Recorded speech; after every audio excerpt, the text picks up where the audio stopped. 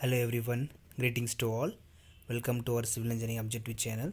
In this video, we are going to see about very important 5 civil engineering MCQs with a lot of explanations. The first question is when a retaining wall moves away from the backfill, the pressure exerted on the wall is termed as. The four options are given. Option A passive earth pressure, option B swelling pressure, option C pore pressure, option D active earth pressure. So we'll see the one by one option. The first one is passive earth pressure. So please remember passive means towards. That means when a retaining wall moves towards the backfill, the backfill, the pressure exerted on the wall is termed as a passive earth pressure. Please remember passive means towards. Second option swelling. Swelling pressure. Swelling pressure is nothing but the pressure exerted by the expansive soil which does not allow to swell and also which does not allow to occur the volume changes. That is called swelling pressure. So third one is the pore pressure. Pore pressure is nothing but the pressure exerted by the underground groundwater. That is called pore pressure. Fourth one is the active earth pressure. So active earth pressure, please remember active means away from the backfill. That is a keyword.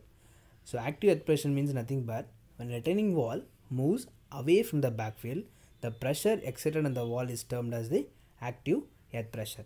So according to the question, the correct answer is option D, active earth pressure.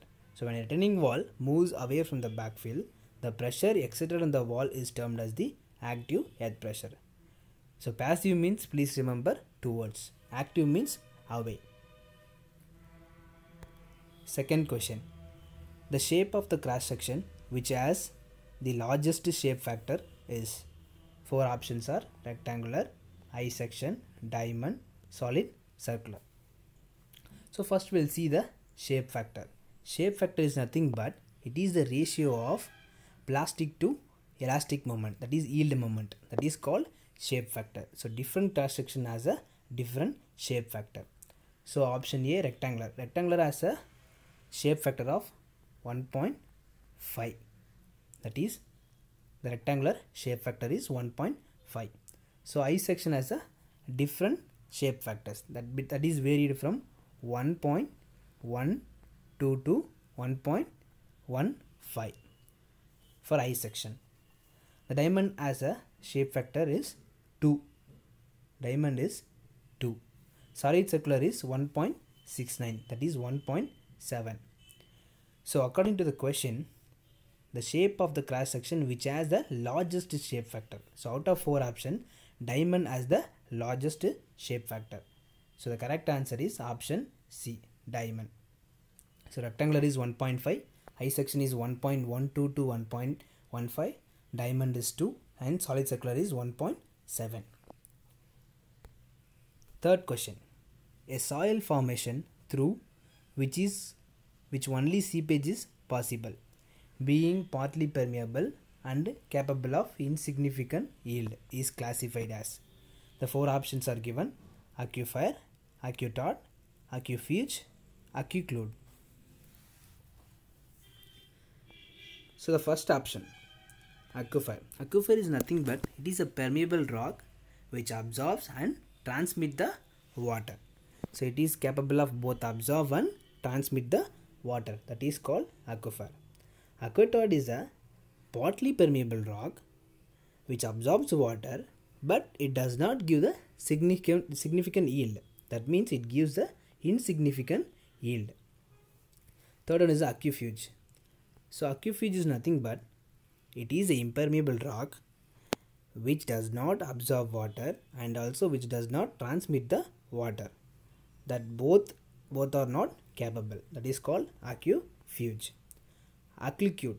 Aquiclude is a layer of impermeable rock which is underlying and overlying of the aquifer. That is called aquiclude. Aquiclude is also giving the insignificant yield. So according to the question, the partly permeable and giving insignificant yield.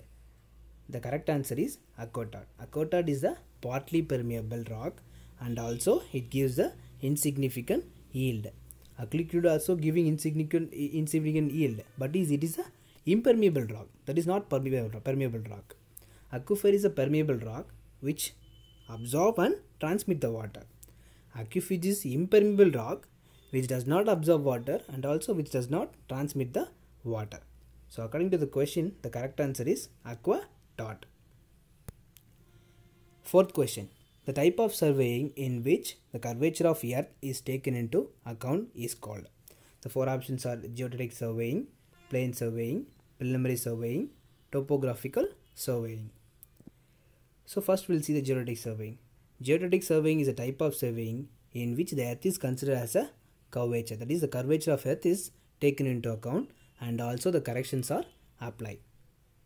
Option B plane surveying.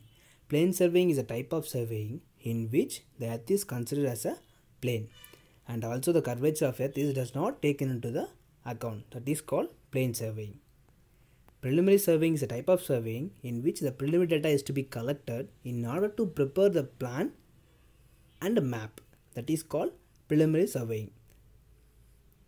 Topographical surveying is a type of surveying in which the natural and man-made resources is taken into account the general data is to be collected in order to prepare the plan and map. That is called topo topographical surveying.